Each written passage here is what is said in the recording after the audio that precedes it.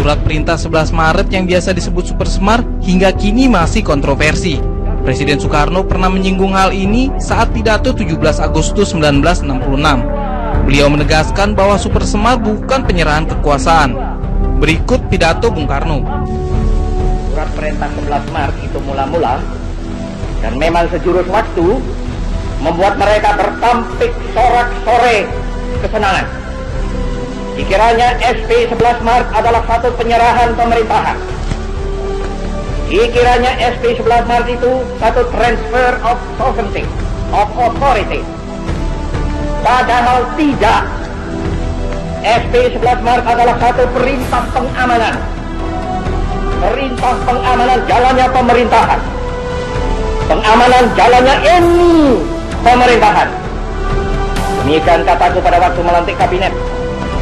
Kecuali itu, juga perintah pengamanan keselamatan pribadi presiden.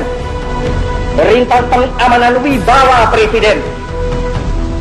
Perintah pengamanan ajaran presiden.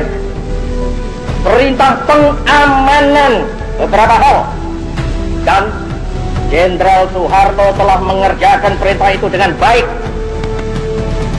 Saya mengucap terima kasih kepada Jenderal Soeharto akan hal ini.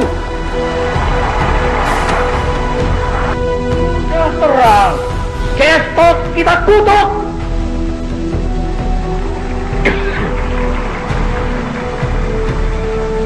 Dan saya, saya mengkutuk pula.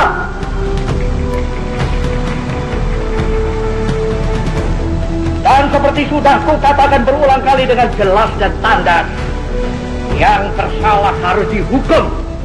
Untuk itu aku bangunkan mahmilu. Tetapi kenapa kita sesudah terjadinya gestok itu harus robah haluan?